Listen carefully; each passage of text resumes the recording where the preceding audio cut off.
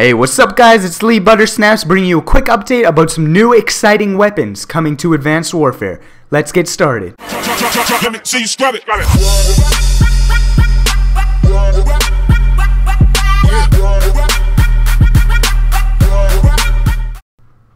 Alright guys, Sledgehammer Games just tweeted out about two hours ago on their Twitter page that there are new weapons coming to Advanced Warfare. That's the STG-44 Assault Rifle, the Blunderbuss Shotgun, and the SVO Sniper Rifle. It will be available Tuesday, July 21st on Advanced Warfare for Xbox One players first.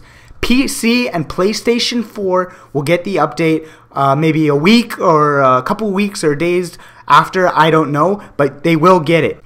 Unfortunately for the uh, last gen consoles such as the 360 and PlayStation 3, unfortunately you guys will not be getting this uh, update uh, due to the the old system hardware limitations.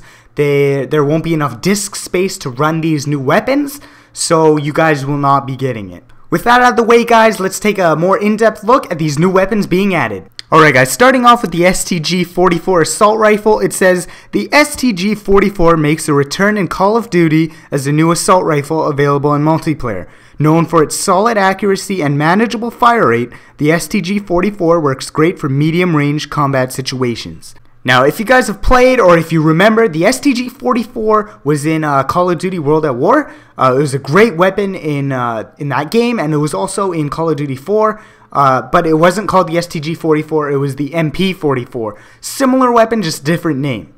Now, it says there are five different loot variants of the gun, so five different versions with uh, obviously different stats, different looks that you guys will get in uh, supply drops. So, and one of them is shown above as the Iron Claw, and it also shows the base model. So that's very exciting as well to see uh, what buffs will come to the gun and uh, what the looks will be for the STG-44. Up next is the all-new shotgun called the Blunderbuss. It says the Blunderbuss is a short-range shotgun that packs a punch, delivering a great amount of damage up close and a wide spread. It has the drawback of a slow reload speed between the single shots. In the right hands, it can help players hold down objectives in hardpoint or keep your team's flag secure and capture the flag. For the blunderbuss guys, there will be an astonishing 10 different loot variants that you guys can earn in your supply drops, with three of them being shown above as the musketeer, the thunderpipe, and the dragonfire. These three just look amazing themselves. I can't wait to see what the uh, the other seven variants are going to look like. Alright guys, last but not least is the SVO sniper rifle. It says the SVO is a semi-automatic sniper rifle with great accuracy. The trade-off being, of course, increased recoil. The SVO sniper rifle will only have uh, five different loot variants, just like the STG-44.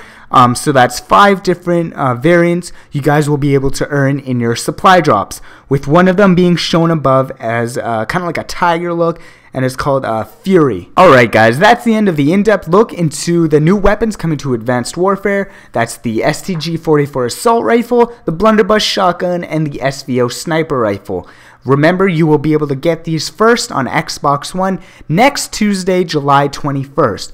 PS4 and the PC will get the update shortly after. Alright, so that's the end of this video guys. I hope you enjoyed it. Um, remember to like the video, subscribe if you haven't, and uh, give me some feedback in the comments section. You know, uh, let me know if you want me to uh, do more of these uh, Advanced Warfare uh, new update videos, uh, what's coming to the game, you know? So just let me know in the comments below. Thank you guys for watching. I hope you guys have a great day, and this is Lee Buttersnaps signing off.